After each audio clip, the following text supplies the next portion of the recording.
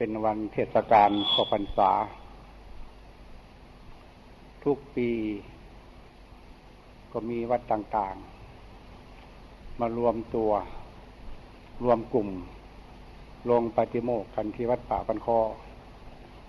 ทำอย่างนี้กันมาหลายปี คือวัดต่างๆ บางทีก็ไม่ถึงห้าองค์สี่องค์ หรือบางทีก็มีพระสี่ห้าองค์ก็ตาม แต่ไม่มีพระปฏิโมก จำเป็นต้องมารวมกลุ่มฟังปฏิโมกแห่งใดแห่งหนึ่ง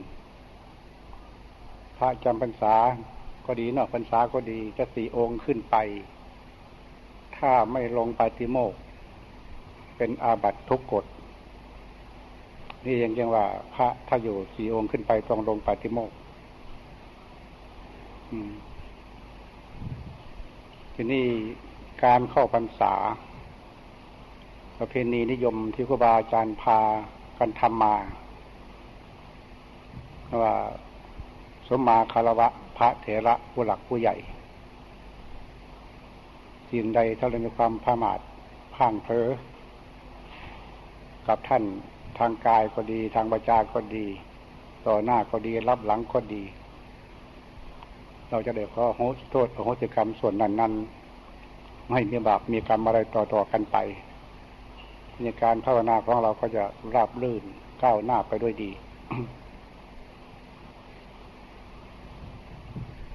อีกอย่างหนึ่งการขอนิสัย ตามหลักพระธรรมวินัยท่านก็บอกไว้แล้วว่า นับจากพรรษาห้าขึ้นไป เป็นผู้พ้นนิสัยยมุตตะมีตามวินัย ก็ต้องดูความชัดเจนกับว่านิสัย คือพ้นนิสัยพ้นอย่างไร หมายถึงว่าผู้มีความฉลาดรอบรู้ในพระธรรมวินัย เวลาเข้าอาบัตออกอาบัตออกอย่างไรเข้าอย่างไร อาบัตหนัก แก้ไขอย่างไร อาบัตเบาแก้ไขอย่างไร มันต้องรู้จักละหุกอาบัตคาลุกอาบัตอาบัตหนักอาบัตเบาต้องรู้ จึงถือว่าผู้ผู้พ้นนิสัยมุตตะได้ อันนี้ตามหลักปริยัติทีนี้ตามหลักปฏิบัติทีนี้ครูบาอาจารย์ผู้หลักผู้ใหญ่ท่านวินิจฉัยเรื่องนี้ เรื่องผู้พ้นนิสัยยมุตตะนั้นต้องเป็นผู้พร้อมหลายอย่าง ทางสติปัญญา ความเรารู้ในพระธรรมวินัย สามารถพึ่งตัวเองได้ และเป็นผู้นำผู้อื่นได้ พอสมควร ที่นี่หมายถึงว่าอยู่ในในช่วงการศึกษา การศึกษาลักษณะออกมีลักษณะสองประเภท การศึกษาแบบหนึ่ง เป็นการศึกษาในยังปุถุชน ที่จะปฏิบัติเพื่อเข้าสู่อริยชนนี่การศึกษาแบบหนึ่ง อันนี้ยังไม่แน่นอน มีการเปลี่ยนแปลงได้ หรือบางทีอาจจะจิตใจก็เสื่อมลงได้เช่นเดียวกัน มีการศึกษาแบบหยาบๆสุด การศึกษาอีกแบบหนึ่ง เป็นแบบการศึกษาของนิยตาบุคคล สมมุติว่าผู้นั้นเป็นพระอริยเจ้าทัพแต่ภูมิทำพระโสดาบันขึ้นไป เป็นผู้พ้นนิจยมุตโดยขาดขาดตัวเช่นเดียว เป็นผู้ไม่มีอาบัติคำว่าเชลพัตตาปารามาตคือพ้นจากอาบัติแล้ว เป็นคนไม่มีอาบัติถ้าเป็นฆราวาสญาติโยมศีลขาดไม่เป็น เศร้าหมองไม่เป็น นี่สำหรับว่าพระผมทำพระโสดาบัน เป็นเป็นนิยตาบุคคล เป็นผู้คนจากศิลพัตตาปารามาตไม่มีการรวบคำในศีลอีกต่อไป ว่าศีลขาดหรือไม่ขาดไม่สนใจเรื่องเหล่านั้น คือมันไม่ขาดอยู่แล้ว เป็นคนไม่ล่วงเกินในศีลตัวเองด้วย อันนี้เป็นนักการวะเป็นส่วนหนึ่งที่ว่า พึ่งตัวเองได้ เรียกว่านิสัยมุตกะขาดไป แต่ก็มีทำหมวดหนึ่งอีกละเพราว่าเสขบุคคลอะเสขบุคคลคำว่าเสขบุคคลนั้นบุคคลที่ต้องศึกษาอาเสขบุคคลเป็นบุคคลที่ไม่ต้องศึกษา คำว่าเสขบุคคลนั้นนับตั้งแต่ภูมิธรรมพระโสดาบันขึ้นไปถึงพระอนาคามี ยังขึ้นอยู่กับผู้ยังต้องศึกษา ศึกษานี่หมดธรรมคือจะก้าวขึ้นไปในระดับธรรมะระดับสูงขึ้นไปก็ว่าเสขาบุคคลก็ว่าศึกษาเกี่ยวกับภูมิธรรมพระโสดาบันเป็นต้นจำเป็นต้องมีแนวทางปฏิบัติให้ชัดเจนลงไปว่า จะมีการปฏิบัติอย่างไร เพื่อจะกระรวบรัด ตัดตอนเพื่อกันข้ามขั้นหรือก็ให้ก้าวขึ้นสู่ภูมิธรรมระดับสูง เช่นว่าภูมิธรรมสกิทาคาอนาคาอรหันขึ้นตลอดไปเรื่อยๆคือต้องศึกษาอยู่ นี่ต้องจำเป็นต้องพึ่งครูอาจารย์ ผู้ที่ท่านมีความรู้ความสามารถทางท่านปฏิบัติได้ผ่านขั้นตอนละเอียดไปแล้ว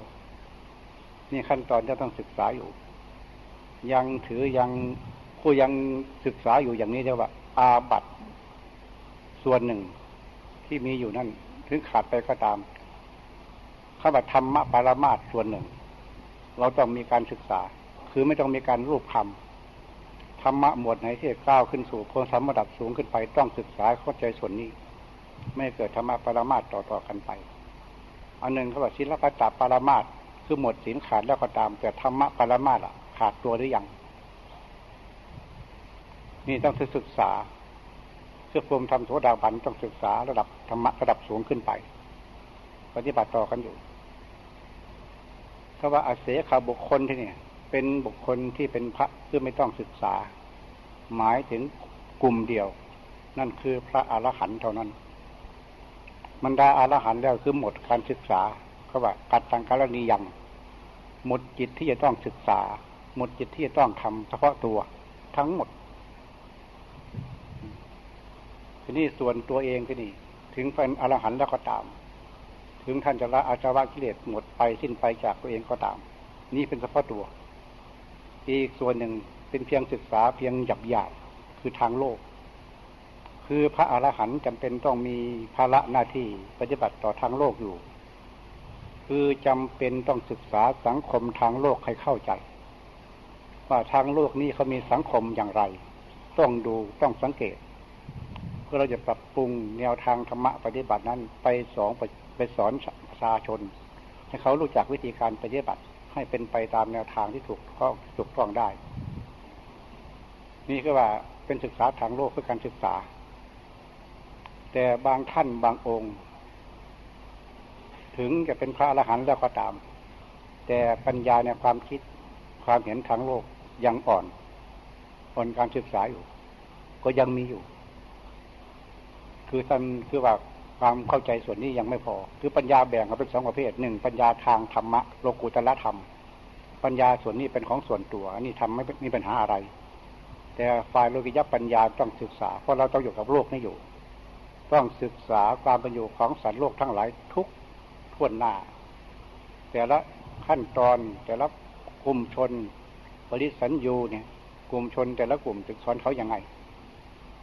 จะให้ธรรมะเขาอย่างไงบ้าง นี่ก็ต้องศึกษาวิธีการปฏิบัติ นี่คือพระอรหันต์ต้องศึกษาส่วนนี้ นี่บางองค์ถ้าไม่ศึกษาส่วนนี้ไว้ อาจจะมีความคิดแปลกๆขึ้นมาได้ อาจจะโจมตีคนนั้นได้ ว่าคนนี้ได้ เหมือนคนธรรมดา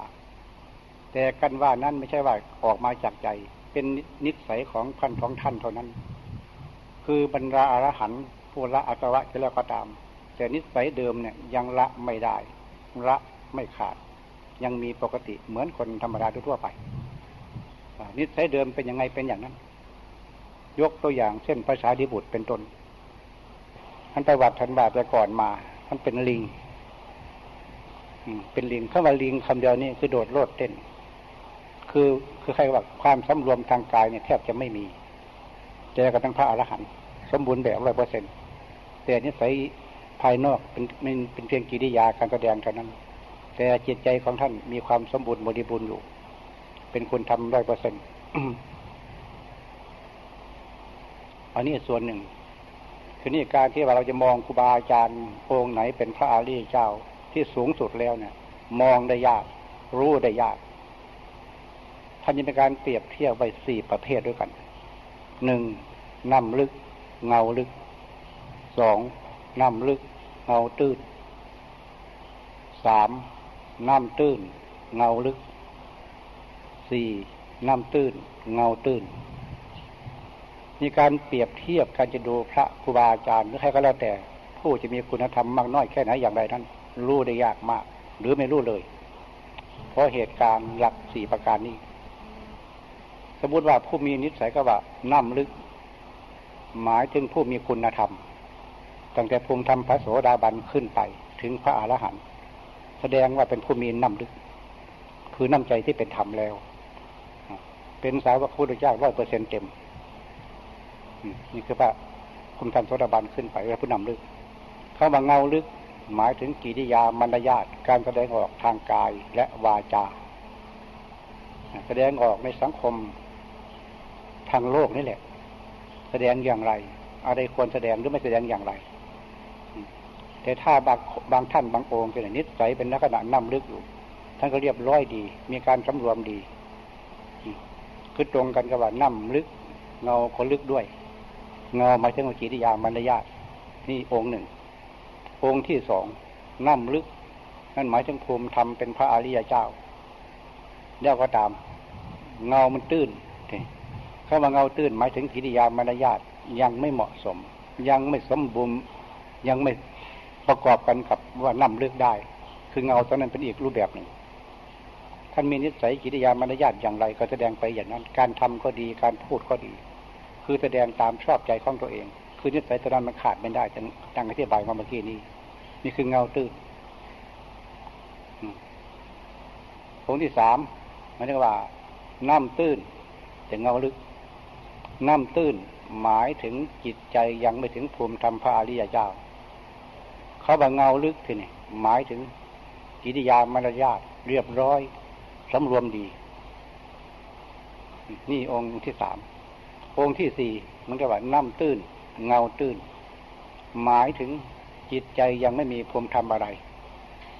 น้ำซ้ำยังมีกิริยามารยาททางกายวาจาแสดงออกมาเนี่ย ไม่เหมาะสมกับเพศสมณะสาลูกแต่อย่างใดคือไม่สำรวมนั่นเอง เมื่อสี่จำพวกนี้มาจับกันเป็นสองกลุ่ม จับกลุ่มเช่ว่าน้ำลึก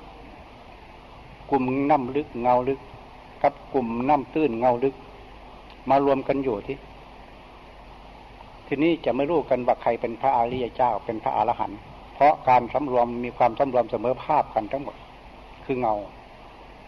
ถึงองค์หนึ่งเป็นปุถุชน องค์หนึ่งเป็นพระอริยเจ้าก็ตาม แต่การสำรวมกายวาจาเนี่ย เรียบร้อยทั้งคู่ ถ้าอย่างนี้เราจะดูก็ได้ไหมองค์ไหนองค์จริงองค์ปลอม ดูไม่ได้เลย นี่คือคู่หนึ่ง คู่ที่สองมันจะว่าพูดผู้น้ำลึกมาถึงพระอริยเจ้า แต่เงาตื้น แล้วมาจับกลุ่มกันกับพวกที่น้ำตื้น เงาตื้น องค์หนึ่งเป็นพระอริยเจ้าก็ตาม องค์หนึ่งปุถุชนก็ตาม แต่กิริยามารยาทเหมือนกัน เหมือนอย่างไร คือเหมือนตนจะไม่สำรวม คือไม่สำรวมทั้งคู่ การทำก็ดี การพูดก็ดีไม่สำรวมทางกายวาจา อันนี้เองว่าเหตุสี่ประการนี้เองจึงดูพระอริยเจ้าเนี่ยอยู่ได้ยากมาก แต่หลายคนก็หลายคนอวดฉลาดว่าดูพระอริยเจ้าได้ อันนั้นไม่ใช่ คืออวดฉลาดเฉยๆอวดโง่เฉยๆที่จริงไม่รู้ คือไม่เข้าใจทีนี้ยุคนี้สมัยนี้ มีพระอริยเจ้ายังคงเหลืออยู่หรือไม่หลวงพ่อก็ตอบร้อยเปอร์เซ็นต์เต็มว่ามี ตั้งแต่ภูมิธรรมโสดาบันถึงอรหันต์เดี๋ยวนี้มีอยู่ แต่ไม่มากนัก ไม่สามารถจะนับเป็นเปอร์เซ็นต์ได้ว่ากี่เปอร์เซ็นต์คือน้อยมาก พระจำนวนเราในเมืองไทยประมาณสามแสนรูปนี่เอาจะมีกี่องค์น้อยมาก คือไม่อยากพูดว่ากี่องค์ คือไม่อยากพูดตรงนั้น แต่มันมีอยู่ เช่นนั้นเรื่องว่าเรื่องพระอรหันต์ก็ดี หรือพระอารียเจ้าถึงจะคมจำโสดาบันอรหันต์ก็ดีกับปุถุชนเนี่ยพระองค์เจ้าจงตรัสได้ว่าให้แสดงอาบัติถ้าไม่แสดงอาบัติตามวันปฏิโมกวันพาเนี่ย เป็นอาบัติทุกกฎแม่พระอาริยะก็เป็นอาบัติทุกกฎปรับอาบัติทุกกฎแต่ปรับโดยกิริยา โดยมารยาทพระองค์เจ้าต้องการคือว่าให้พระอาริยเจ้ากับพระปุถุชนอยู่รวมกัน แบบเป็นสันติวิธี ให้เกิดความรักสมัครสมานสามัคคีกัน ไม่แยกกลุ่มแยกคณะว่าองค์กลุ่มนี้เป็นพระอริยเจ้า กลุ่มนี้เป็นปุถุชน พระองค์เจ้าไม่ให้แยกอย่างนั้น ถ้าแยกมาอย่างนี้ จะมีปัญหาอย่างหนึ่ง คือคณะศรัทธาญาติโยมทั้งหมดนี้ เขาต้องการกราบไหว้สักการะบูชา เครื่องสักการะต่าง ๆ นั้น ต่อพระอาริยเจ้าจะคุมทำโสดาบันถึงอรหันต์เขาต้องการอย่างนั้น เขาถือว่าได้บุญมากพระราในสงมีสูง เขาต้องการอย่างนั้นพระองค์เจ้าจึงว่าไม่ได้แยกกลุ่ม ให้ทุกองค์ปฏิบัติหน้าที่เหมือนเหมือนกัน คือแสดงอาบัติเหมือนเหมือนกันเพื่อไม่ให้โยมเข้าใจว่าองค์นั้นเป็นอรหันต์องค์นี้เป็นพระปุถุชนไม่เขารู้จักอีกหนึ่งตัดช่องโหว่ไว้ว่า ถ้าทำอย่างนี้ ถ้าไม่ทำอย่างนี้ มันจะมีพระองค์หนึ่ง องค์ใดก็ตามที่มี ความคิดแปลกๆขึ้นมา เพื่อผลประโยชน์ส่วนตัวสักอย่างหนึ่งทั้งที่ตัวเองเป็นพระปุถุชนรู้ตัวเองเก่ใจอยู่ แต่หาผลประโยชน์ส่วนตัวขึ้นมา เออเราก็ไม่ต้องแสดงอาบัติละ ถ้าคนใดไม่แสดงอาบัติแสดงว่าเป็นพระอริยเจ้า เราก็ไม่ต้องแสดงอาบัติการพูดออกมาอย่างนี้แสดงว่าให้โยมรู้จักว่าเราเป็นพระอริยเจ้าใช่ไหมก็เป็นอย่างนั้น เพื่อราบสักการะบูชา นี่พระองค์เจ้ายังว่าให้แสดงอบัตทั่วหน้ากันนี่สมัยขั้งพุทธการตัดในพระธรรมวินัย ชัดเจนมากจึงให้ทุกองค์ทั้งพระอริยเจ้านักปุถุชนให้แสดงอบัตให้อยู่ร่วมกันได้ คือไม่ให้ญาติโยมคนใดคนหนึ่งรู้จักว่าองค์นั้นเป็นพระอรหันต์องค์นี้ปุถุชนคือไม่ให้รู้จัก ให้เขาถวายทานพร้อม ๆกัน คือพระปุถุชนและพระอริยเจ้านะก็ ออกเบื้องต้นออกจากปุถุชนนี้ไป พยายามก้าวขึ้นไปเรื่อยๆปฏิบัติไปเรื่อยๆ จนถึงพระอริยเจ้าได้ไม่ใช่ว่าการบวชมาจะเป็นพระอริยเจ้าทีเดียวไม่ใช่อย่างนั้น มันต้องออกจากปุถุชนนี้ก่อน จึงก้าวกันไปสู่พระอริยเจ้าได้ นี่เองพระองค์เจ้ายังว่าให้ตัดเอาไว้ว่า อย่าไปแยกกลุ่มให้คนทยมรู้จัก ถ้าไปแยกกลุ่มคนนั้นกลุ่มนี้เป็นพระอริยอรหันต์องค์นี้เป็นพระบุรุชนน่ะ จะมีปัญหาคารวะมากเลยทีนี้ทำนายของพระพุทธเจ้าไว้พุทธธรรมนายที่หกข้อมั มันมีข้อหนึ่ง เป็นพุทธพจน์ เราต้องสังเกตไว้ว่า มีไหไหน้อยไหใหญ่หรือว่าตุ่มใหญ่ตุ่มเล็กรวมกันเป็นกลุ่มเป็นก้อนอยู่กลางแก้งแต่ทำไงไหใหญ่ใบนั้น จึงเต็มด้วยน้ำเบี่ยมเต็มที่ อันใบเล็กๆน้ำไม่ค่อยจะมี หรือไม่มีเลยอย่างเป็นต้นเป็นเพราะอะไร นั่นหมายถึงว่าไหใหญ่หมายถึงว่า ผู้ประกาศตัวคือคุมทำอรหันต์นั่นเอง ถือว่าเราเป็นพระอริยเจ้าแล้วก็โยมก็แสดงภาพจักระถวายลุมใส่ลุมใส่ลุมใส่ลุมใส่ จนเหลือเฟือหายเล็กคือปุถุชนธรรมดาบรรดาก็เสียประโยชน์ทำอะไรไม่ได้เลยนี่พระองค์เจ้าจึงวัดตัดออกไปว่า คือไม่แสดงออกมาลักษณะหายเล็กหายใหญ่ ให้ญาติโยมในทำเสมอภาพกัน ถึงพระอาวุโสบทเก่าก็ตาม พระบทใหม่ก็บทใหม่ก็ตาม ให้มีราบและกละ มีชีวิตความเป็นอยู่เสมอภาพกัน นี่พระสอนพระพุทธเจ้าตรัสไว้ว่าต้องแสดงอาบัตินี่ข้อที่หนึ่ง อีกข้อที่สองสำคัญมากกว่านี้ ในพระธรรมวินัยพระพุทธเจ้าเดตรัสไว้ชัดเจนมากพระองค์เจ้าว่าภิกษุผู้มีคุณธรรม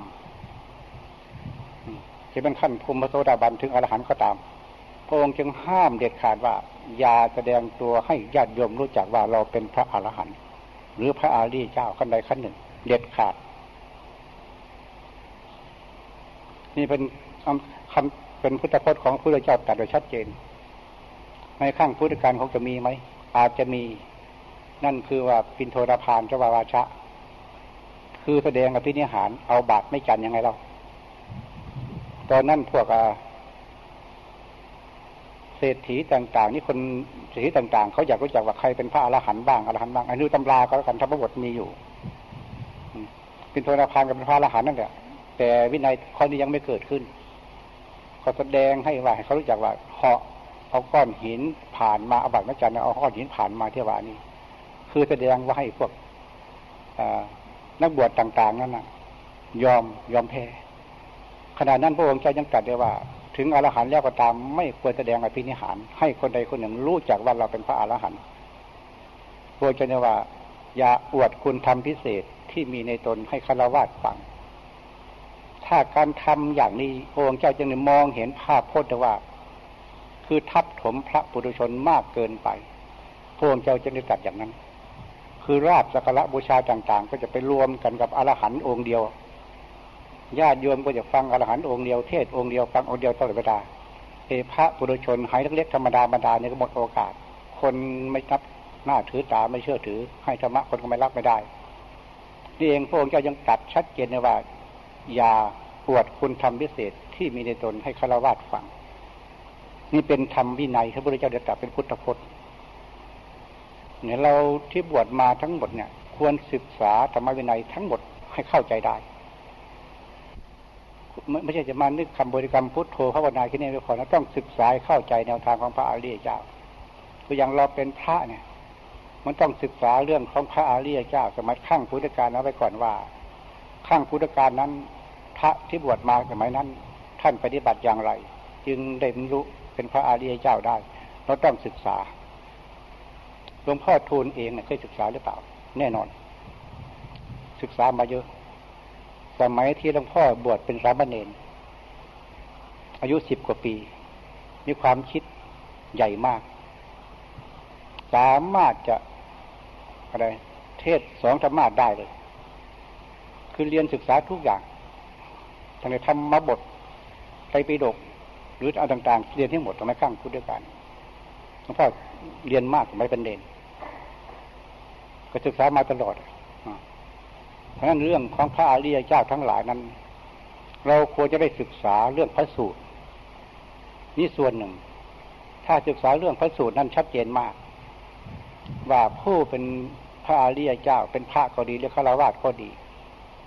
ผู้ศึกษาและปฏิบัติเขาเริ่มปฏิบัติอย่างไร จึงเป็นพระอริยเจ้าได้ หรือเป็นฆราวาสญาติโยมเขาปฏิบัติอย่างไร จะเป็นพระอริยเจ้าได้ ก็ต้องศึกษาประวัติของพระอาริยเจ้าแต่ละบุคคลแต่ละบุคคลให้เข้าใจ ในหนังสือพระธรรมบทแปดภาคต้องศึกษาให้จบ ให้ละเอียดหลวงพ่อตัวเดียวศึกษาหรือเปล่าสมบูรณ์มาก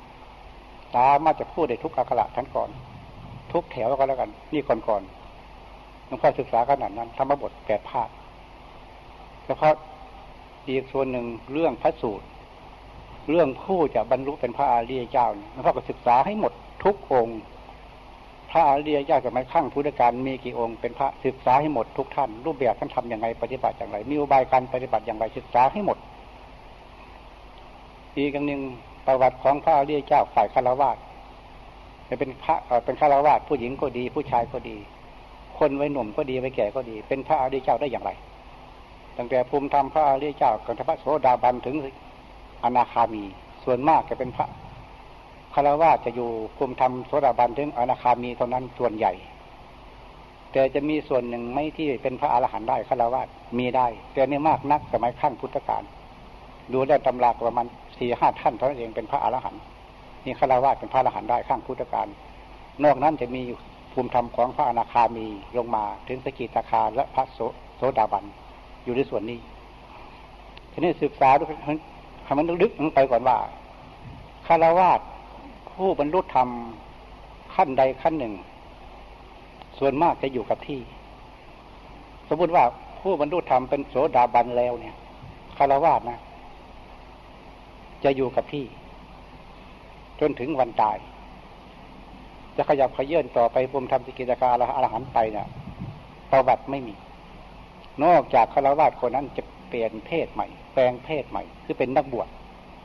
ออกมาปฏิบัติใหม่เริ่มต้นใหม่นั่นแหละที่จะก้าวขึ้นสู่คงทำรรมระดับสูงได้ ถ้าคาราวาจะปฏิบัติบรรลุธรรมก็ลงไปเป็นโสดาบันกับโสดาบันถึงวันตาย ตัวอย่างอนาถพิจกาเศรษฐีเป็นต้น หรือนางวิสาขาเป็นต้น หรือหลายๆคนข้างพุทธการเนี่ยมันเป็นอย่างนั้น นี่คือประวัติของพระอริยเจ้าพระโสดาบันของคาราวาหรือสกิทาคาเช่นเดียวกันคาราวา บรรลุธรรมสกิทาคานี่ ถ้าบรรลุธรรมแล้วก็ต้องอยู่กับที่ตัวนี้ ถ้าไม่ออกบวชถ้าไม่เปลี่ยนเพศบวชเป็นนางพิกุณีเป็นสิกามานาไปนะนั่นอยู่กันเท่านี้จนถึงวันตาย ยกตัวอย่างเช่นลูกสาวของอารัฐพิญญกาเศรษฐีคือนางสุมาณานางสุมาณาปฏิบัติบรรลุธรรมเป็นสกิทาคา ผู้เป็นพ่อเป็นภูมิธรรมโสดาบันทีนี้นางมีอายุสั้น พอถึงเวลาจะตายนี่ก็บอก พ่อเขามาหา นางก็ได้บอก เรียกพ่อว่าน้องชาย น้องชายเข้ามานี่ น้องชายเข้ามานี่เมื่อว่าน้องชายเข้ามานี่เนี่ยคนก็แปลกใจทั้งหมดว่าทำไมยังเป็นอย่างนั้น คือนางสุมนาเนี่ย เป็นภูมิธรรมของพระอริยเจ้าขันสกิทาคาทำไมยังเพ้อฝันละเมอพูดพ่อว่าน้องชายอย่างนั้น มันเป็นพ่ออะไร คนก็แปลกใจ จึงไปถามพระพุทธเจ้าว่านางสมนาเป็นอย่างนี้อย่างนี้เป็นยังไงพระเจ้าค่ะพระองค์เจ้าได้ตรัสเลยว่า ถูกแล้ว ที่นางสมนาพูด เรียกพ่อว่าน้องชายน้องชายเขามานี่นั่นถูกแล้ว นั่นหมายถึงว่าน้องชายหมายถึงว่า ผู้เป็นพ่อเนี่ยภูมิธรรมต่ำกว่ายังไง คือภูมิธรรมพระโสดาบันแต่นางรู้ว่าภูมิธรรมสกิทาคาเป็นรุ่นพี่ยังไงรุ่นพี่แต่ว่าเป็นพี่เป็นพี่ในธรรมนี่พูดทางธรรมกันทั้งโลกอย่างหนึ่งพระเจ้ายังว่าถูกแล้ว เหตุนั่นของการปฏิบัติในยุคนี้สมัยนี้ พวกเราจะไปเข้าใจว่าหมดยุคหมดสมัย ไม่หมดยังมีอยู่ ยังมีพระสิทธิ์ตัดไปว่าอรหันตะอสุนโลโกตราบใดเมื่อยังมีภิกษุ หรือใครก็แล้วแต่มีการปฏิบัติตามพระธรรมวินัยในคำสอนของพระพุทธเจ้าอย่างถูกต้องอยู่แล้ว ในยุคนั้นสมัยนั้น ในตราบนั้น โลกนี้จะไม่ขาดจากพระอรหันต์ หรือไม่ขาดจากพระอริยเจ้านั่นเองคือว่า การบรรลุธรรมเป็นพระอริยเจ้าในยุคนี้จึงมีอยู่เป็นไปเหมือนเดิม ทีนี้เราจะตีตัวเองก่อนใครว่า เออ เราวาสนาบารมีเราน้อยไป หรือมายกหมดสมัยไปแล้วเนี่ย ถ้าการพูดออกมาอย่างนี้มันเข้าข่ายของเจริญตัณหา มันจะผลักดันให้เราอ่อนกำลังความเพียรลง เราจะไม่เข้มแข็งในการปฏิบัติต่อไป เขาก็จะ ตัวตัณหากิเลสไปชักจูงเราไปทางต่ำเออวาสนาเรามีน้อยเกินไปทำอะไรไม่ได้ละอันนั้นไปอย่างนี้ อันนี้เราไม่ต้องเอาอย่างนั้น ไม่ต้องเป็นคิดอย่างนี้ เอาเต็มที่ในการปฏิบัติของเรา อืมถึงที่สุด เอาชีวิตเป็นที่ตั้ง ในลมหายใจเฮือกสุดท้ายนั่นแหละว่า เราจะได้บรรลุเป็นพระอรหันต์หรือไม่เอาเฮือกสุดท้ายเป็นที่ตัดสินที่ขาดว่าเราจะได้ หรือไม่ได้ตรงนั้น เมื่อชีวิตเรายังมีอยู่ที่ต้องเอาเต็มที่ ปฏิบัติเต็มที่ ที่แนวทางของการปฏิบัติ ของขัตนาพุทธของเราเนี่ย ทุกทุกองค์ที่ผ่านมา ทุกยุคทุกสมัยไม่จะเป็นขั้งก่อนๆพระองค์เจ้าองค์ก่อนๆที่ผ่านมานั้น การปฏิบัติเป็นการบรรลุธรรมเป็นพระอารีเจ้าระดับไหนก็ตาม จะเหมือนกันกับศาสนาองค์ปัจจุบันนี้ เหมือนกันทั้งหมดแนวทางปฏิบัติ นั่นคือแนวทางปัจถังคิกามักคือมักแปเป็นเส้นทางเดียวกันทั้งหมด การบรรลุธรรมนี่เป็นแนวทางอันเดียวกันทั้งหมด การบรรลุเป็นอรหันต์ก็เหมือนกันทั้งหมด นิพพานเหมือนกันทั้งหมดทุกยุคทุกสมัยในพระองค์เจ้าองค์ปัจจุบันนี้ก็ต้องสอนอย่างเดียวกัน นี่คือทิศทางของพุทธศาสนาของเรา คือสอนเหมือนกันทุกยุคทุกสมัยทีนี้เมื่อศาสนาของพระศรีอริยเมตไตรจะลงมาตัสรุในภายภาคหน้านั้น ก็จะตัดทะลุเหมือนก็จะมีแนวการสอน แนวการปฏิบัติเหมือนกันกับพระพุทธเจ้าองค์ปัจจุบันนี้เหมือนกันทั้งหมดเลย ไม่มีความแตกต่างกันอย่างไรขณะการบรรลุธรรมเป็นพระอริยเจ้าจะเหมือนกันกับยุคนี้สมัยนี้โองค์ต่อกันไปเก้าองค์สิบองค์ข้างหน้าก็เหมือนกันในอาการสอนพระพุทธเจ้าทุกองค์จะเหมือนกันกับองค์ปฏิบัตินี้เหมือนกันทั้งหมดฉะนั้นจังหวะเตรียมการปฏิบัติองค์ปฏิบัตินี้ให้มันถูกต้องไปก่อน เมื่อวาสนาบารมีเราพร้อมแล้วในชาตินี้ เราก็จะได้บรรลุธรรมในชาตินี้ผู้จะได้บรรลุธรรมในชาตินี้ได้ มีเหตุสามประการด้วยกันหนึ่ง สัมมาปฏิบัติ เป็นผู้ปฏิบัติถูกต้องตามแนวทางของพระอริยเจ้าที่สมบูรณ์สองผู้เพกตาปุญญาตา เราผู้นั้นได้อบรมบารมีมาพอสมควร พอจะเป็นพระอริยเจ้าได้ อาจจะเป็นภูมิธรรมสกิราคาโสดาบันอนาคาแล้วแต่ แต่มีภูมิธรรมมีคุณธรรม หรือมีบารมีส่วนนี้ พอจะเป็นพระอริยเจ้าได้นี่ส่วนที่สอง สามคือว่าสัมมาวายมะ ความเพียรเรามีความต่อเนื่องอยู่เสมอเสมอถ้ามีความสมบูรณ์ในสามข้อนี้ ผู้นั้นจะบรรลุเป็นพระอาริยเจ้าในชาตินี้ ไม่ต้องไปชาติหน้าพอสมบูรณ์ก็แล้วกันนั้นจังหวะอย่าไปคอยว่าเออบารมีเราน้อยไปอย่าไปคิดอย่างนั้น ต้องเข้มแข็งไม่ก่อน คือเราอาจจะมีกิเลสตัณหาส่วนหนึ่ง หรือกรรมส่วนหนึ่ง ปิดบังใจเราไว้ว่า ไม่เราปฏิบัติ ถึงมรรคผลนิพพานนั่นคือมารไงคือมารห้าตัวมารห้าอย่างก็ว่า กิเลสมานขันธมารอภิสังขารมารเทวปุตตมารมัจจุมารมารห้าประเภทห้ากลุ่มเนี่ย เป็นตัวขัดขวางไม่บุคคลมันลุกเป็นพระอาริยเจ้าเนี่ยเอาถ้าดำเอาชนะมารห้าตัวนี้เอาได้ แต่มารตัวที่ห้าน่ะ เป็นตัวสุดท้ายคือมัจจุมารแน่นอนอะเขาต้องชนะเราแล้ว แต่มารสี่ตัวที่ว่ามันเอาชนะเขาให้ได้ต้องเข้มแข็งในการปฏิบัติของเราอันต้องทำตัวให้เราเป็นพระจริง ๆ อย่าเป็นพระแบบหลอกลวงโลก เพื่อหาผลประโยชน์ หาเอกลาภเพื่อส่วนตัวในทางโลกได้อย่างไรเราจะบวชเพื่อทำปฏิบัติธรรมตามแนวทางของพระพุทธเจ้าเท่านั้น ทีนี้การเราเป็นพระคำเดียวเนี่ย ถึงยมจะเรียกกับพระก็ตาม เป็นหน้าที่ของเขาจะเรียก แต่เราก็ถือว่าเป็นนักบวชเฉยๆคือยังไม่สมบูรณ์แบบเท่าที่ควรอันเราพยายามฝึกตัวเองศึกษาตัวเองให้เป็นพระให้สมบูรณ์แบบให้ได้ ในชีวิตที่เรามีอยู่นั่นคือว่าสำรวมสำรวมเขาบอกสำรวมกายสำรวมวาจาเป็นส่วนของศีลก็ตาม แต่สำรวมจริง ๆ คือสำรวมใจ เพราะใจเราเนี่ย ห้ามให้คิดได้ไหมห้ามไม่ได้ มันต้องคิด แต่คิดไปแล้วนะ่ะ ให้คิดไปทางธรรมอย่าคิดเพื่อสร้างให้กิเลสนาคือว่าสังขารการปรุงแต่ง ให้ทำจิตใจเกิดความพุ่งสร้างลำคาญ ให้จิตใจเห่อเหิมในกรรมคุณทั้งหลาย คือปรุงแต่งตามสมมติต่างๆ อย่าให้มันเป็นไปอย่างนั้นถ้มันคิดในทางธรรมให้มากขึ้น จะห้ามไม่คิดไม่ได้แต่เรามันต้องคิดต้องหันความคิดให้มันถูกทิศถูกทางนั่นคือการปฏิบัติ ถ้าเราดูสังเกตได้ว่า ทำไมพระองค์เจ้าจึงได้วางมรรคแปดก็เป็นทางของอริยมรรคเป็นแนวทางที่จะไปสู่ของพระอริยเจ้าเนี่ยพวงค์ทำไมพวงค์เขาจึงตัดไว้อย่างนี้ทำไมจะโบงจึงตัดว่าสมาธิฐิสมาสังกปรเนี่ยเป็นหลักของปัญญาทำไมยังเอาไว้ก่อนทำไมยังเอาหมดศีลหมดสมาธิไปที่หลัง มีคำสอนเดิมพูดด้วยเจ้านะนี่พูดของเก่าให้ฟัง ส่วนมากนักปฏิบัติ หรือคนยุคนี้การศึกษาได้ศึกษาของใหม่ ๆ แต่ของเก่าๆแล้วเนี่ยไม่ค่อยศึกษากันมันพูดของเก่า ของเก่าหมายถึงว่าในมัดแปดนั่นนะคือย่นออกมาในยุคนี้ก็มีลักษณะสิกขาสามที่เราเรียกกันว่าศีลสมาธิปัญญานั่นเอง แต่ถ้าจะเรียบเรียงตามแบบอย่างเดิมๆของพระพุทธเจ้าแล้วเนี่ย มันไม่ใช่ศีลสมาธิปัญญา มันออกมารูปแบบว่าปัญญาศีลสมาธิ มีของเก่าแต่ว่าสมาธิิสมาสังกปรหมวดปัญญาใช่ไหม ก็หมวดปัญญา สมาวาจา สมากรรมันโต สมาอาชิโบเนี่ยหมวดหมวดศีลนี่คือหมวดสอง สมาวายโม สมาสติ สมาสมาธิ คือหมวดสมาธิ ถ้าจะเรียบเรียงตามแบบอย่างเดิมของพระพุทธเจ้าแล้ว จะออกมารูปแบบว่าปัญญาศีลสมาธินี่ของเก่าของดั้งเดิม ที่พระองค์เจ้าสอนพุทธบริษัททำไมข้างพุทธการคือสอนอย่างนี้ ทีนี้เขาว่ามรรคแปดเนี่ยเจ็ดข้อ ตั้งแต่สมา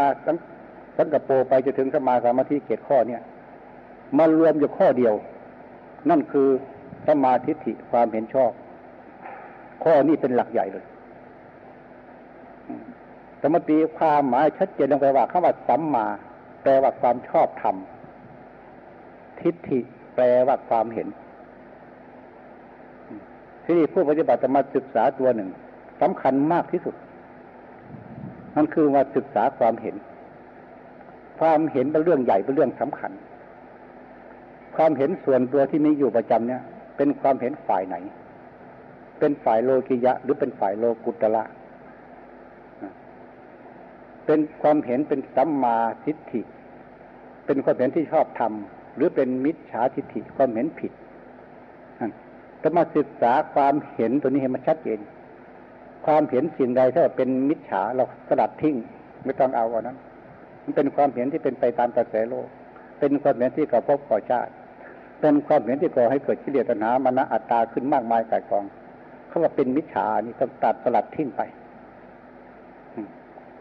เอาความเห็นที่จะเป็นสมาธิความเป็นชอบเนี่ยเห็นอย่างไร เห็นความเป็นไปในทางมรรคผลนิพพานยังไงเรา นี่คือความเห็นตัวนี้มันทำไมให้ศึกษาประวัติของพระอริยเจ้ายังไง ถ้าไม่ศึกษาตัวนี้ยากจะปฏิบัติตามทางพระอริยเจ้าได้คำสอนที่เราศึกษากันอยู่ทุกวันทุกวันเนี่ยมันมีทั้งใหม่ทั้งเก่าปนเปกันอยู่ ของเก่าก็มีของใหม่ก็มี คือนักตาชญ์ลุกใหม่ๆก็เขียนเสริมเข้าไปบ้าง เอาของเก่ามาเขียน มาแก้ไขบ้างเพิ่มเติมบ้างบางส่วนบางประเด็น แต่เราไม่รู้ดอกส่วนไหนเป็นของเก่าของใหม่ ถ้าจริงมันมีในกันหมด เก่าก็อยู่นั้นแหละใหม่ก็นั้นแหละผิดก็มีถูกก็มี แต่คำบาลีจริง ๆ นั่นถูกส่วนใหญ่ถูก เราจะไปคิดว่าตัวบาลีทั้งหมดถูกต้องไม่ได้นะมันมีส่วนบกพร่องอยู่เหมือนกันคือมันไม่สมดุลกันเท่าไหร่นะคือตัวบาลีตัวนี้ฉะนั้นจังหวัดตัวบาลีเนี่ย เป็นคำที่ว่าเป็นเป็นชื่อประกอบ เป็นคำมคตภาษา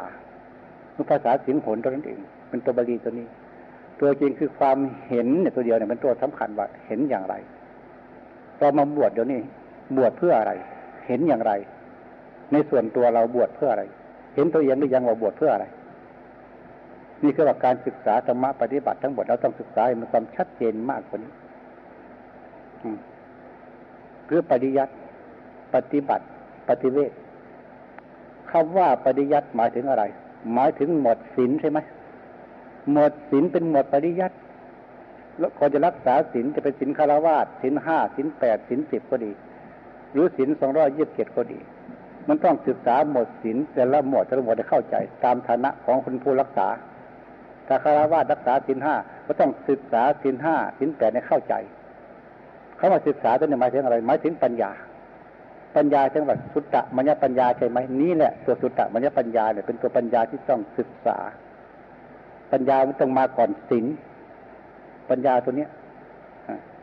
ที่นีการปฏิบัติศึกษาต้องจับคู่ให้ถูกก็มีสามคู่ด้วยกัน ในภาคปฏิบัติมีสามคู่ด้วยกันหนึ่งกลุ่มหนึ่งก็ว่าสุตตะปัญญาปินสุตตะมัญญปัญญาสองจินตามัญญปัญญาสามภาวนามยปัญญา นี่คือหมวดในกลุ่มหนึ่งกลุ่มสองคือปฏิยัติปฏิบัติปฏิเวทไง เวลาเราปฏิบัติต้องจับคู่เนี่ยมาจับคู่ให้ถูกกันคำว่าปฏิยัติหมายถึงเอาสุตตะมัญญปัญญามาจับคู่ในปฏิยัติตัวนี้ให้เข้าใจคือศึกษาเพื่อศีลเป็นปฏิยัติต้องศึกษาหมดศีลทุกขั้นตอนไว้ก่อนก่อนจะรักษาศีลได้ ตัวปัญญาเป็นตัวศึกษาในหมดศีลตัวปัญญาเป็นตัวรักษาศีลด้วย ถ้ารักษาศีลไม่มีปัญญาในตัวรอบรู้ในศีลแล้วศีลจะอยู่ไม่ได้เลย จะพังกับพังเสียกับเสียขาดกับขาด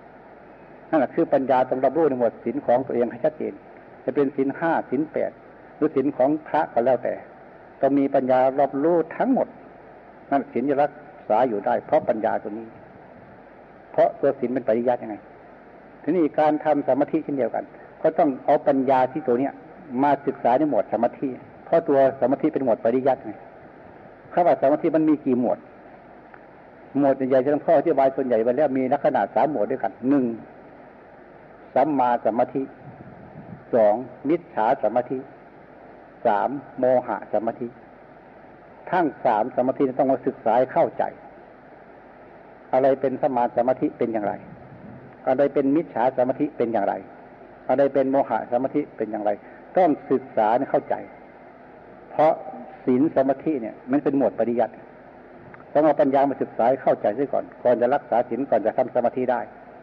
ถ้าไม่เช่นนั้นจะทำสมาธิผิดพลาดไปได้ จะเกิดเป็นตัวสมาธิตัวนี้ เป็นพวกสมาธิแบบตบดฤาษีไปโดยไม่รู้ตัว ส่วนใหญ่ในยุคนี้สมัยนี้พากันทำสมาธิกัน ที่ว่าทำแบบอย่างตามแนวทางของพระพุทธเจ้านั้น อันนั้นเป็นคำพูด อันจริงๆแล้วนะ่ะ แนวทางทำกันยุคนี้สมัยนี้มันทำแบบอย่างของพวกระบทฤาษีคือสมาธิทุกวันส่วนใหญ่ทำกันอย่างนี้ ส่วนสมาธิของพระพุทธเจ้าเราทํำยังไงเราศึกษาหรืออยังดูหรือยังอันนี้เองเราต้องศึกษาตัวนี้ อะไรที่เป็นสมาธิแนวทางการสอนของพระพุทธเจ้าอย่างแท้จริงเป็นยังไงต้องรู้จักตัวนั้น แบบอย่างอย่างหนึ่ง การศึกษานี่หมดสมาธิเราต้องศึกษาประวัติของพระพุทธเจ้าของเราเอาไว้ก่อนล่วงหน้า สมัยพระองค์ออกบวชใหม่ ๆพระองค์ต้องการหาเพื่อความพ้นทุกข์ นั่นมาต้องการหาวิธีการดับความเกิดให้ได้ นั่นมาจากพระองค์ได้เห็นคนแก่คนเจ็บคนตายในประวัติใช่ไหมพระองค์ต้องหาวิธีว่าการแก่เก็บตายมาจากอะไร มาจากการเกิด พระองค์ต้องหาวิธีจะทํำยังไงจะไม่ให้เกิด ถ้าไม่ได้เกิดแก่เก็บตายก็ต้องไม่มีพวกก็ต้องหาวิธีที่จะไม่ให้เกิดให้ได้ วิธีการปฏิบัติจะไม่ให้เกิดจะทํำยังไง พระองค์ยังไม่รู้ พยายามคิด แล้วคิดดีก็ไม่รู้พระองค์จึงมองเห็นว่า นักบวชคนหนึ่งในยุคนั้นพระองค์เห็นว่าเราต้องทำตัวเป็นนักบวชคนนี้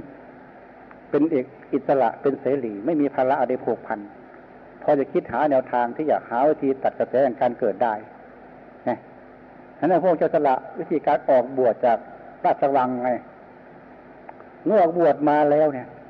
ผมก็ต้องใส่หาครูอาจารย์อยู่บ้าง เพราะวิธีการดับความเกิดดับยังไงโบยังไม่รู้ พระองค์จึงไปอยู่กับระบบฤาษีทั้งสองท่านใช่ไหมนี่ประวัตินะก็ไปศึกษาดูระบบทั้งสองท่านก็สอนวิธีการทำสมาธิให้ต้องทำอย่างนี้อย่างนี้อย่างนี้อย่างนี้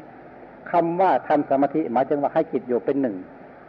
ไม่จิตไปคิดโน่นคิดนี่เรื่องอดีตอนาคตก็จริง ให้จิตอยู่เป็นหนึ่งแน่วแน่อยู่เป็นหนึ่งตลอดเวลาคือห้ามใช้ความคิดโดยประการทั้งปวง นั่นหมายถึงฤาษีก็สอนพวกเจ้าก็ต้องทำอย่างนั้น เมื่อทำไปว่าก็ต้องทำได้แบบชัดเจนมากขึ้นมากขึ้นมากขึ้น จนจิตใจรู้ร่วงถึงฌานนั่นฌานนี่ขึ้นไป ถึงรูปฌานเอารูปฌานขณะจิตมีความสงบในสมาธิอยู่แล้วเนี่ยเหมือนกับว่ากิเลสน้อยใหญ่หมดไปสิ้นไปจากใจไม่มีอะไรเลย แต่เมื่อจิตถอยเราจากสมาธิมาแล้ว จิตว่าบุญนึกถึงนางพิมพาลาผลกุมบินพัฒมากไปมากมายขายกองนี่พระองค์เจ้าจะว่าทำอย่างนี้มายาวนานเหลือเกินพระองค์เจ้าว่าเออ วิธีการทำสมาธิเพียงอย่างนี้ ไม่ใช่เป็นไปเพื่อความพ้นทุกข์เสียแล้ว ไม่ใช่เป็นไปเพื่อดับความเกิดได้เสียแล้ว ไม่ใช่เป็นไปเพื่อละกิเลสปัญหา เพื่อมรรคผลนิพพานอะไรได้เลยเนี่ยพระองตำหนิแล้วว่าวิธีการทำอย่างนี้ ไม่ใช่เป็นไปเพื่อความพ้นทุกข์ไม่ใช่เป็นไปเพื่อแก้ละอาสวะกิเลสอะไรทั้งสิ้นเราต้องศึกษาพระบาทพระพุทธเจ้าให้เข้าใจ เดี๋ยวนี้มาสอนกันอะไรมากมายกายกวางว่าเอาทำสมาธิไปเถอะทำสมาธิไปเถอะให้จิตสงบดีปัญญาเกิดขึ้นเนี่ยนี่มันศึกษาอะไรกันแน่แล้วมันมีที่ไหนครั้งพุทธการนั้นอะ เมื่อจิตมีความสงบเป็นสมาธิดีแล้วปัญญาเกิดขึ้นนะพระองค์เจ้าสอนใครที่ไหน เอามาพูดกันที่ อย่าพูดปล่อยๆจะพูดนอกรุ่นนอกทาง การพูดอะไรต้องมีหลักฐานมีพยานบุคคลยืนยันไว้ก่อนว่า เออ องค์นั่นแหละ จิตมีสมาธิสงบเดียแล้วปัญญาเกิดขึ้นเนี่ยพูดได้ไหมองค์ไหน ข้างพุทธการมีไหม ถ้ามีเป็นใคร เนี่ยตำรามีก็ตามต้องหาพยานบุคคลมาพูด อีกข้างหนึ่งเพื่อดึงหาความจริงมาพูดกันมันไม่มีหลวงพ่อศึกษาหมดแล้วไปไปดกนี่หลายรอบแล้วมันไม่มีอย่างนี้เลยนี่เดี๋ยวนี้สอนกันอย่างสอนมากมายกายกอง ถ้าเราจิตมีความสงบเป็นสมาธิดีแล้วชะไหนพระองค์เจ้าของเราทำสมาธิอยู่กับระบบฤาษีทั้งสองท่านนานเท่าไหร่สงบมากเท่าไหร่ ยิ่งกว่าเราร้อยเท่าพันเท่าใช่ไหม ในยุคนั้นสมัยนั้นทำไมปัญญาพระองค์จึงไม่เกิดขึ้นบ้าง ทั้งที่พระองค์สร้างบารรมีมาด้วยปัญญาธิกาปัญญาเต็มเปี่ยมร้อยเปอร์เซ็นสมบูรณ์ร้อยเปอร์เซ็นต์ เมื่อสมาธิสงบถึงขนาดนั้นแล้วทำไมปัญญาพระองค์จึงไม่โผล่ขึ้นมาบ้างเนี่ยเราไม่คิดส่วนนี้ศึกษาเฉยๆไม่มีเหตุผลอะไรเลยสมัยก่อนเดี๋ยวนี้เราทำสมาธิกันแบบไหนว่า เมื่อจิตสงบดีปัญญาเกิดขึ้นน่ะ เกิดยังไง ใครเกิดได้บ้างยุคนี้สมัยนี้ มันมีหรือเปล่า มันไม่มีหรอกพระองค์เจ้าก็ไม่เคยสอนอย่างนี้มาก่อนในอดีตเลยเดี๋ยวนี้คนมาดัดแปลงคำสอนพระพุทธเจ้ามากมายไก่กองเหลือเกิน เราควรศึกษาอีกจุดหนึ่ง ที่ควรศึกษาไปว่า เรื่องกาลามาสูตรหลวงพ่ออธิบายไปแล้ว ทั้งสิบข้อเลย อ่านได้หลวงพ่อขยายหมด มันมีสิบข้อมีข้อหนึ่งอธิบายพระองค์จะตัดไปว่า อย่าเชื่อตามตำราหรือคำพีนี่นี่คำสอนพระพุทธเจ้าเนี่ยเป็นพุทธพจน์นะทำไมยังพูดพระองยังตัดไว้อย่างนั้น ต้องศึกษาให้ดี ระองค์จะรู้แล้วว่ายุคต่อไปข้างหน้านู้นคำสอนพระองค์จะมีการเปลี่ยนแปลงด้วยบุคคล คือคิดขึ้นมาเขียนขึ้นมาโดยขาดเหตุขาดผลพระองค์จะว่าก่อนจะเชื่ออะไรต้องมีเหตุมีผล รับรองให้ชัดเจนพระองค์จะว่าอย่าอย่าเพิ่งเชื่อตามตำราด้วยคำผีไงนี่คือว่ากลามสูตรให้ต้องศึกษาตัวนี้เข้าใจ เพราะฉะนั้นหลงทางนะ ต้องดูอะไรเรื่องหนังสือตำราต้องจะขยันอ่านบ้าง มาศึกษาดูบ้าง ถ้าอ่านสิ่งใดหมวดไหนยังไม่เข้าใจหลวงพ่อยังมีชีวิตอยู่ มาศึกษาได้ เรื่องปฏิยัติในเรื่องปฏิบัติเช่นเดียวกันหลวงพ่อยินดี ที่ให้ข้อชัดเจน เต็มที่ก็แล้วกันในปฏิยัติเดี๋ยวนี้มันมีหลายๆอย่างที่จะต้องคิดกันมากกว่าสมควร หลวงพ่อศึกษามาหมดแล้วปฏิยัติทั้งยุคปัจจุบันยุคเก่าหมดเลยศึกษามาหมดจึงรู้ว่าอะไรเป็นอะไร แต่ไม่สมควรจะพูดในขณะอย่างนี้เวลานี้ นี่เรียกว่าคำสอนพระพุทธเจ้ายุคนี้พระองค์ยังว่าพระองค์จะรู้เลยว่า จะมีคนเปลี่ยนแปลงคำสอนพระพุทธเจ้าพระองค์จึงตัดไปว่าอย่าพึ่งเชื่อตามตำราและคำพียังไง นี่คือคารามาสุตัวนี้เราต้องชื่อนาให้ดีสุดนี้ ในพรรษานี่เราทุกคนพยายามตั้งอกตั้งใจให้ดีชีวิตเราอยู่ในพรรษาพรรษาหนึ่งเนี่ยรู้จักต่วันบวจนถึงปัจจุบันนี้หรือวันต่อไปก็ตาม ชีวิตเราอยู่ด้วยคารวาสเป็นสนับเป็นผู้สนับสนุนให้กำลังให้ชีวิตเราอยู่ได้ปัจจัยสี่จะว่า อาหารการมิถบาทก็ดีที่อยู่ที่อาศัยก็ดียาต่างๆทั้งหมดเนี่ย เป็นคารวาสที่เขาเขาถวายเราเมื่อเขาถวายเราเขาต้องการอะไรกับเรา นั้นเราคิดส่วนนี้เอาไว้ทำไมเราจึงไปบินทบาทจึงได้ข้าวเต็มบาทมานำซ้ำอาหารมาส่งที่วัดด้วยเขาต้องมาคิดแต่ว่าเขาหวังอะไรกับเรา เราดีแค่ไหน เขาจะมาให้เราอย่างนี้ ของฟรีๆซ้ำไป อาหารบิณฑบาตแต่ละวันเราฉันลงไปทุกวันทุกวันน่ะ เขาหวังอะไรกับเรา ต้องคิดให้ได้ตัวเนี้ยจะไปกินไปฉันไปแบบเพลินๆนะ ต้องคิดว่าเขาหวังอะไรกับเรา เขาต้องหวังมีความแลกเปลี่ยนใช่ไหมแลกเปลี่ยนอะไรกับเรา เรามีอะไรแลกเปลี่ยนกับเขาบ้าง เขาต้องการบุญใช่ไหมเออ ต้องการบุญกับเรา บุญส่วนในบ้างเราต้องให้เขาเราต้องคิดอะไรทีนี้ทำไมอย่างนั้นเน่ะ เป็นหนี้เขานะเป็นหนี้คารวะเนี่ยยาวนาน มันมีคำหนึ่งพระองค์เจ้าตรัสไว้ว่าเกิดชาติหน้าไปเป็นควาย ใช่หนี้เขาไปไถนาดันนาให้เขากึ่งกังกึ่งกังไม่ว่ากี่ชาติกี่ภพเป็นหนี้คือบวชมาแล้วไม่ทำประโยชน์อะไรบุญให้อันนี้เขาไม่ได้เลย เป็นหนี้เขาตายชาติหน้าเป็นควาย หรือเป็นม้าเป็นช้างก็แล้วแต่ เป็นสัตว์ให้เขาใช้งานใช้หนี้เก่านี่ตำราอันนี้ปลาปลาก็จริงอะแต่ว่าฟังเหตุฟังผลก็แล้วกันเป็นจริงหรือเปล่าไม่รู้แหละเดี๋ยวเราจะเป็นหนี้คารวาสเขา เราต้องปฏิบัติทำเราให้ตรงไปตรงมาแผ่ไม่ตายคารวาสเขาบ้างไหว้พระสวดมนต์ขยันปฏิบัติภาวนาให้มากขึ้นมากขึ้นนี่คือว่าบุญกุศลต่างๆเขาทามาทั้งหมดเขาไม่หวังอะไรกับ เงินทองแลกเปลี่ยน เขาต้องการบุญจากเราเท่านั้นทำยังไงเราจะไม่เป็นหนี้บุญของเขาเขาต้องคิดแบบนี้คิดหนักละต้องขยันมันเพียรหน่อย ขยันนั่งถ้าวันสมาธิบ้างเดินจมกรมว่าใช้ปัญญาพิจารณาบ้าง รักษาศีลสำรวมกายวาจาใจให้ดีบ้าง นี่เราเขาต้องการบุญจากเรา เดี๋ยวนี้เราเขาเอาเงินมาฝากธนาคาร ตัวเราเป็นธนาคาร ธนาคารบุญ เราเป็นธนาคารบุญนะทีนี้กองทานต่าง ๆเขาให้เราเอกราชต่าง ๆ เขามาฝากเราแต่ของฝากเรานี่ระวังให้ดี ถ้ามันหายไปเราใช้หนี้เขาจบไม่ได้สิบซาบจบหรือเปล่านะบุญมีให้เขาแค่ไหน เราต้องสร้างบุญขึ้นมาให้ได้ เพื่อกระจายให้เราให้ไปให้เขาต่อต่อกันไป ให้เขามีความสุข